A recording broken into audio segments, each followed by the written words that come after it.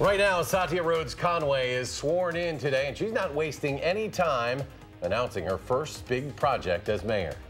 And a criminal complaint reveals new details on a reported sexual assault at Madison East High School. Plus, the lieutenant governor talks about racial issues in our schools as a Madison School District panel discusses policy at a forum tonight.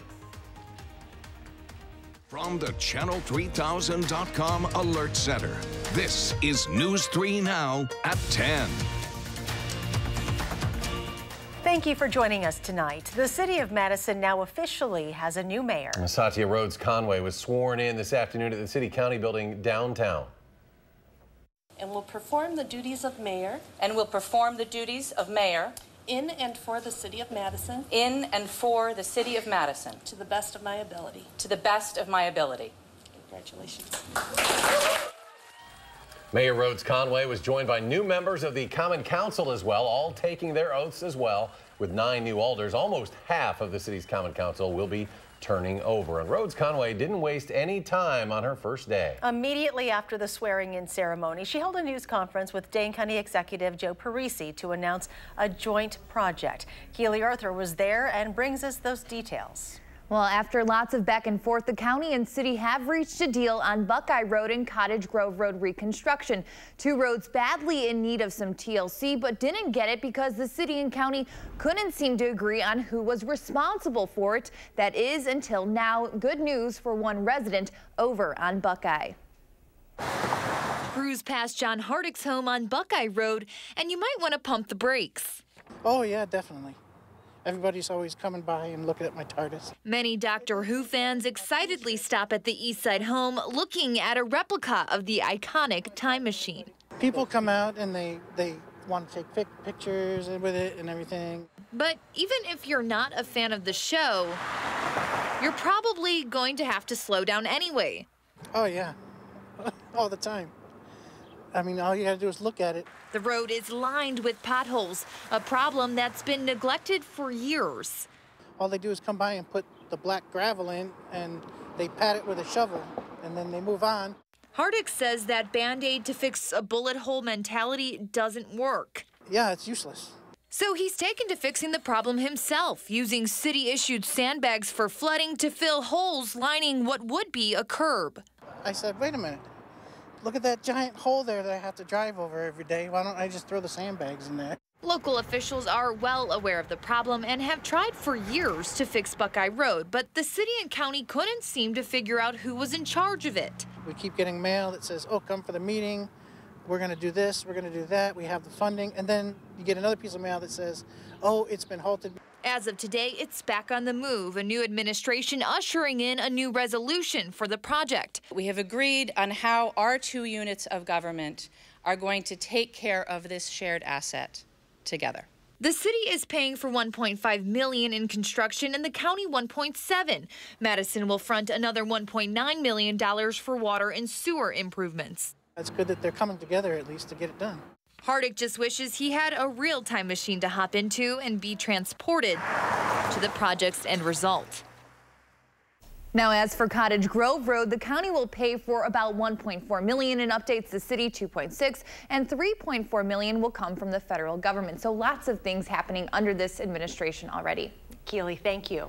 Investigators say the death of a Cottage Grove man who was found in a field in Marshall over the winter has been ruled accidental due to long exposure to the weather and intoxication. The body of 47-year-old Kurt Meyer was found January 17th near the Evergreen Village Mobile Home Park. Investigators say unless they get any new information, the case is now considered closed. An update to last night's breaking news. Police in Sun Prairie are still searching for three men who they believe shot someone last night near the Prairie Athletic Club. Officers say three masked men were seen leaving the scene shortly after the shooting around 9:15. The 45-year-old victim is still in the hospital with a gunshot wound to the stomach, now said to be in stable condition. Police say they believe the shooting was a targeted incident and continue to investigate. To weather now, a chance for some severe weather tomorrow. Chief Meteorologist Gary Cannalte has our first alert forecast. Gary? Charlotte will have to keep an eye on things. A lot of it will depend on how warm we get, whether we get a little sunshine, and where a warm front eventually ends up. But as we start out by taking a look at an alert day that we have in the forecast for tomorrow, we do have one in for the possibility for an isolated strong to severe thunderstorm. Gusty winds, hail, perhaps some heavy downpours, the main threats there. Now on Doppler track, some showers already starting to show up in western Minnesota and um, the eastern portion of North Dakota. This is actually the northern portion of a large warm air mass to our south and west, which is heading in our direction. And because of that, the Storm Prediction Center does have a, a marginal risk of severe thunderstorms into southern Wisconsin for tomorrow with a slight risk uh, along and south of I-80 in eastern Iowa and western Illinois. Low temperatures this morning started out mild. We were at 46 for the overnight low temperature in Madison. High temperatures today climbed into the middle 60s. A few places hit the 70 degree mark, including Janesville, Mineral Point, and Boscobel. And current temperatures have cooled down into the upper 30s to around 40 near Lake Michigan, around 50 in Madison, and still close to 60 to the southwest over toward Prairie du Chien and Dubuque, Iowa. So by tomorrow morning, look for temperatures to be in the upper 40s to around 50. There'll be some scattered showers, maybe a thunderstorm, and then some scattered showers and thunderstorms tomorrow. It will be mild, though, with a high temperature of 63. That's your News 3 Now First Alert forecast. All right, Gary, thank you. A criminal complaint is released today related to the alleged sexual assault that happened at Madison East High School. According to that complaint, the victim claims one of the two 15-year-old students charged in the case took her backpack to get her into the third floor bathroom. This was last Wednesday, and that's where the assault allegedly happened. Surveillance video confirms both boys were in the bathroom during the time that the girl reported the sexual assault. Since the controversy at Whitehorse Middle School this year, where an 11-year-old African-American student says she was assaulted, race equity in schools has been on the forefront of the community's mind. The administrator is not facing any charges, but it still brings up the discussion.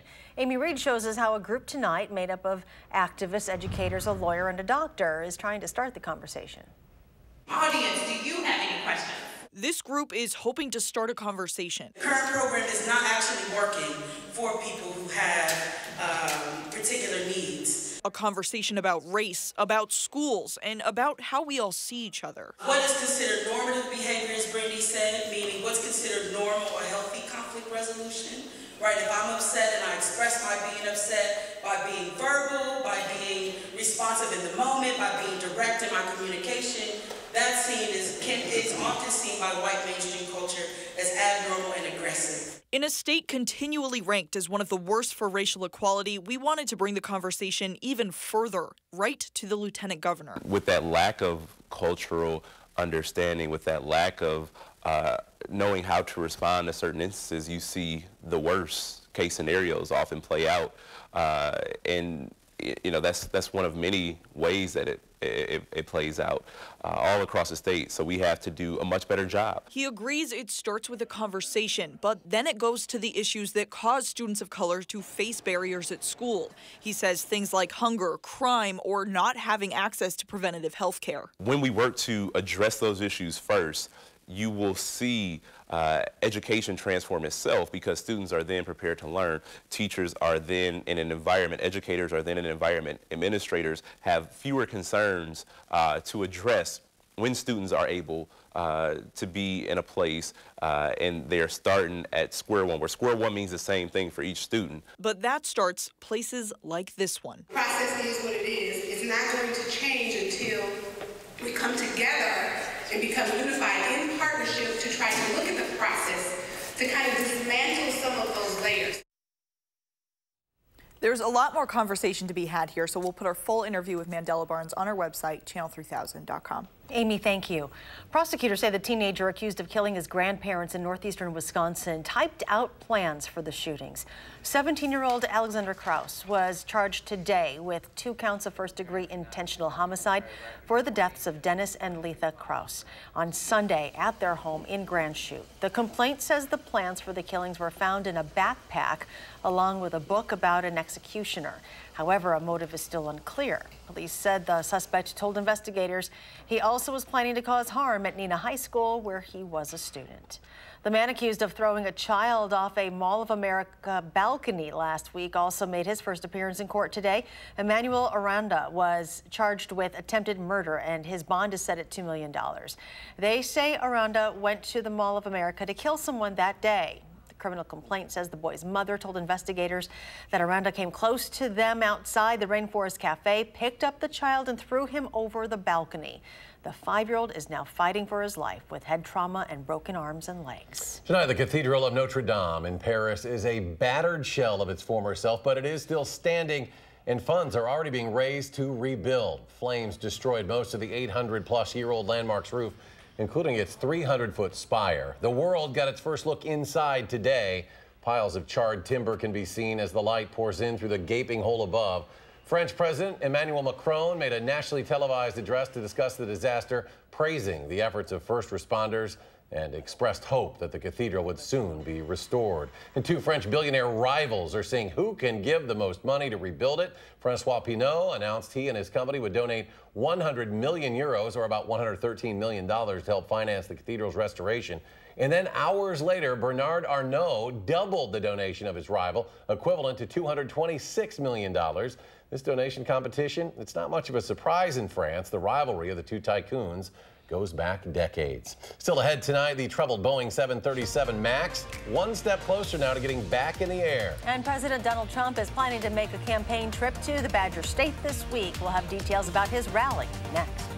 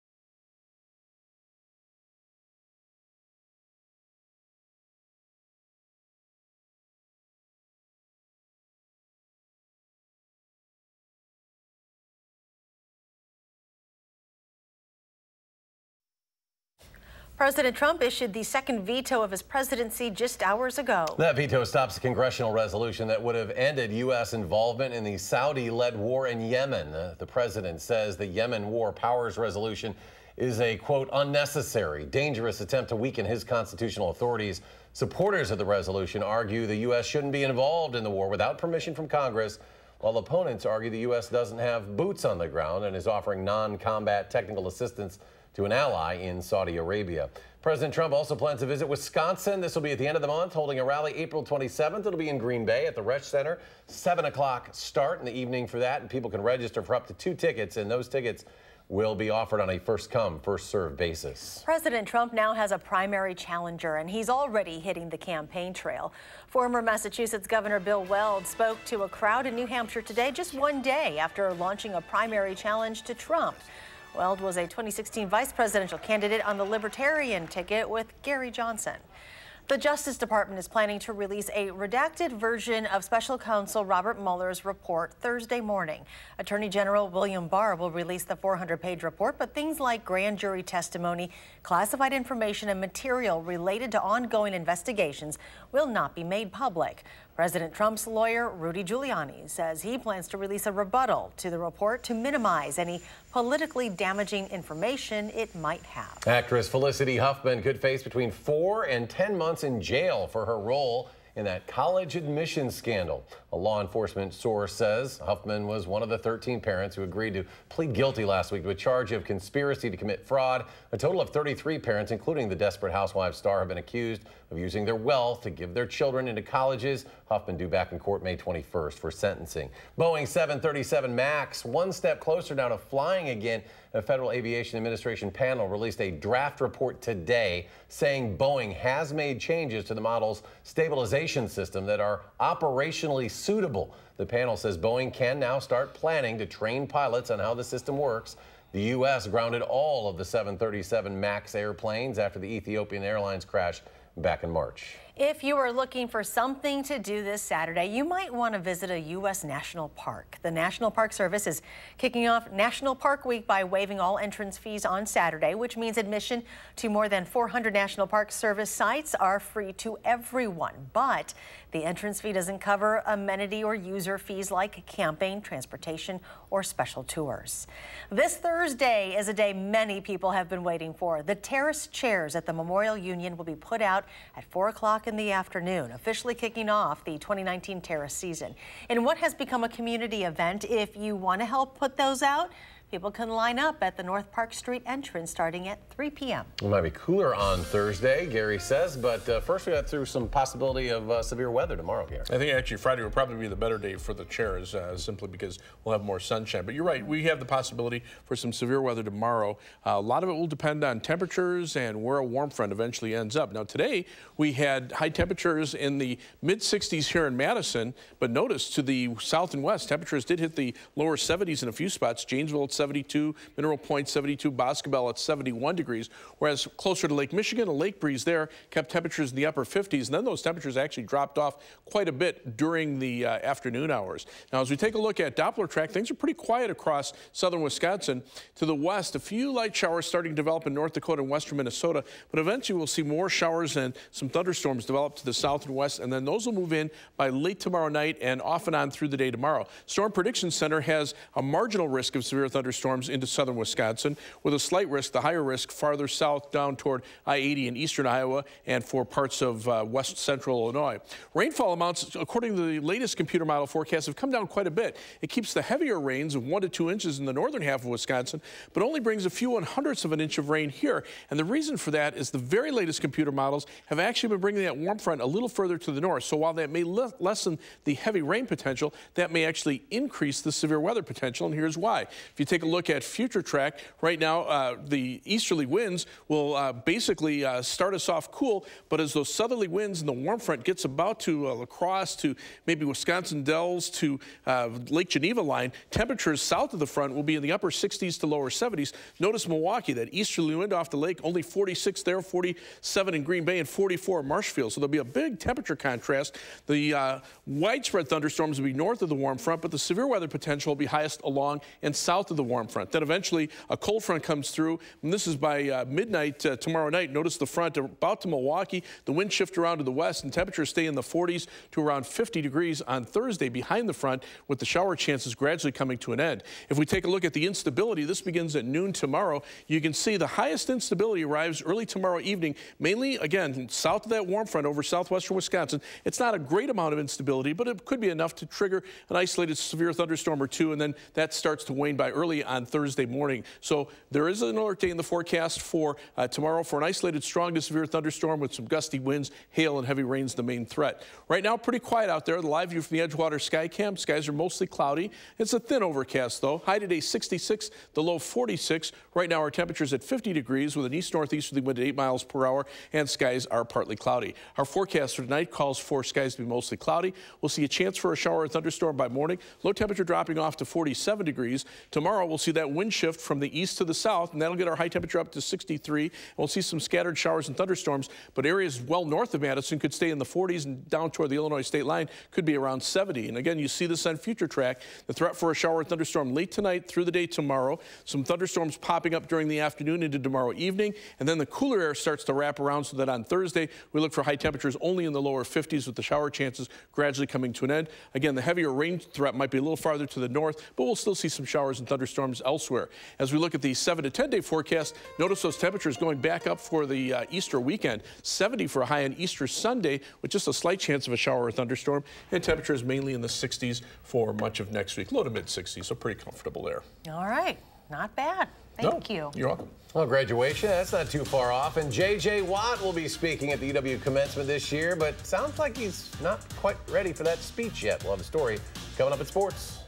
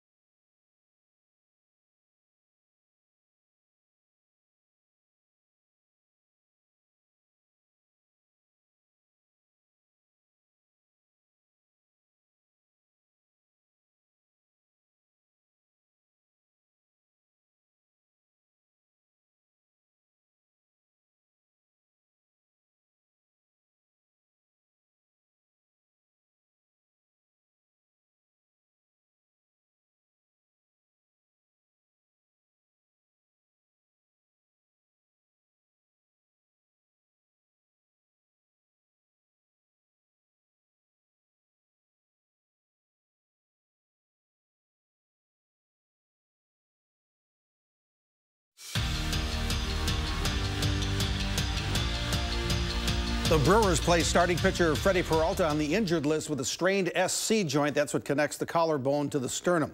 Brewers host the Cardinals tonight, and they just own St. Louis. What a night for pitcher Brandon Woodruff. Not only is he the winning pitcher, he also drives in two with a double. Brandon Woodruff is hitting 714 so far this season, five out of seven. And guess what? Christian Yelich hit another homer, a three-run shot in the fifth. Yelich has eight homers in six games against the Cardinals this season. Final score, Brewers 8, Cardinals 4, an afternoon game at 1240 tomorrow at Miller Park. Cubs, by the way, won in Miami 4-0. Badger football announced the date of its season opener in 2026. The Western Michigan Broncos will be at Camp Randall Saturday, September 5th, 2026. That's over seven years from now. Everyone wants to know about quarterback Graham Mertz as an early enrollee and figures to push for the starting position this fall. Now, we're very early in spring practice, but Quarterbacks coach Jon Budmayr, also a former Wisconsin QB, says Mertz has stayed very grounded. But he does a great job of is being in the moment, and I think that helps him not look too far ahead, not look at what the future holds, but truly just dive into it. And he's done that since day one here. He did a great job. There was a lot of um, different obstacles he worked through in the recruiting process to get here, and so he's very mature, and he's allowed himself the opportunity to have success because he's how, of how he's kept himself in the moment. That WIAA football realignment plan was unanimously approved by the Board of Control today, and the changes will begin in the 2020 football season. Janesville Craig and Parker will both move the, from the Big Eight to the Badger Conference in 2020, and a lot of other conference dominoes will be falling too. Russell Wilson set a deadline for getting a new contract from the Seattle Seahawks, and he beat that deadline by a half hour early this morning. Wilson gets a new four-year, $140 million deal with a $65 million signing bonus. He's now the highest paid player ever in the NFL. Wilson is just ahead of Aaron Rodgers' new deal with the Packers. Atlanta's Matt Ryan, the only other NFL player to average $30 million a season. And you know who's not on that list? Tom Brady. He'll make $14 million this season. Another former Badger, J.J. Watt, is coming to Madison to be the keynote speaker at UW commencement at Camp Randall Stadium May 11th. Watt was asked to send along his speech so they could put it in the teleprompter, but Watt said he hadn't planned anything. He was just going to wing it. He said, You're not going to write a speech. What are you going to talk about? I said, I don't know. I'm just going to go up there and talk. Yeah, I mean, I, that was my full plan. I did not know that, like, you had to write it all out. I'm dead. I didn't know. There, he was like, They have a teleprompter for you. What do you want on it? I said, no, I nothing. I don't need it. Just give me a black screen and tell me when to stop talking. You know, that was literally my plan. But I found out you have to write some stuff down. So I have about a month to figure it out. Watt says he does have a message to tell, but he adds, let's be honest. The graduates just want the speaker to give a cool message for about five minutes, then get off the stage so they can go home and drink beer. Sounds about right. And we'll be right back.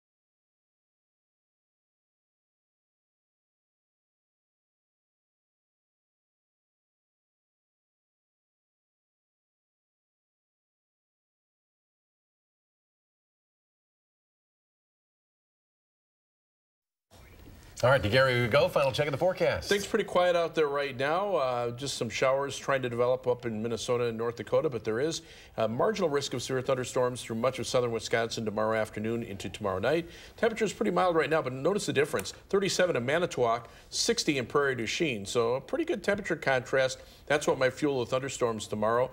Uh, look for uh, cooler weather on Thursday. The showers will come to an end Friday morning, and then nice weather for the Easter weekend. Just a slight chance of a thunderstorm on Easter Sunday and temperatures between 60 and 65 next week. All right, Gary, thanks. Thanks for joining us for News 3 Now at 10. Do something good, and we'll see you back here tomorrow.